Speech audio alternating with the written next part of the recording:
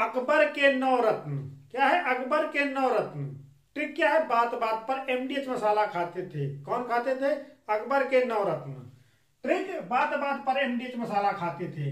B Birbal. A Abdul Fazal. T Tansen B Bhagwan Das.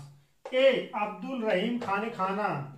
T Todarmal M मान Singh. D दो प्याजा मुल्ला। H हकीम हुक्काम। देख ले भैया वीडियो पसंद आया है तो कर लो सब्सक्राइब।